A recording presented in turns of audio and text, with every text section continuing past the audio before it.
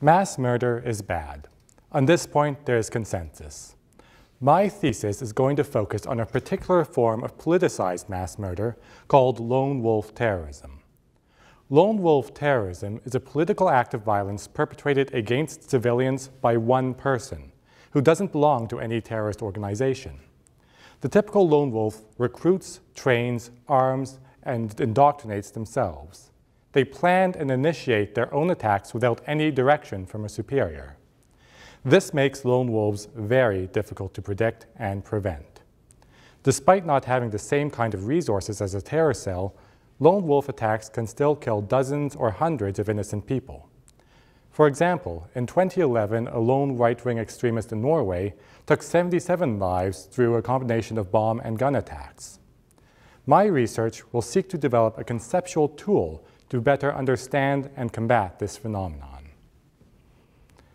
Dangerous speech is a particular brand of hate speech that can help us understand how lone wolves become radicalized toward violence. It was originally developed to explain incidences of mass violence, like genocide or ethnic conflict. Dangerous speech is shaped to incite violent action by many members of its audience. I will investigate whether it can also apply to violence by individuals.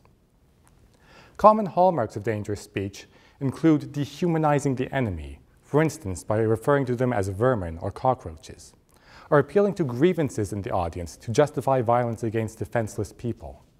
These same hallmarks can be seen in speech associated with lone wolves. Lone wolves may indoctrinate themselves, but the media used in this process does come from somewhere. From extremist websites, for instance, or from demagogues in the community. My thesis will use case studies of individual lone wolves, focusing on the ideology behind their actions. For each case study, I will search for the hallmarks of dangerous speech in the media these people consumed while forming the beliefs they killed for, and in the manifestos they posted hoping to inspire others.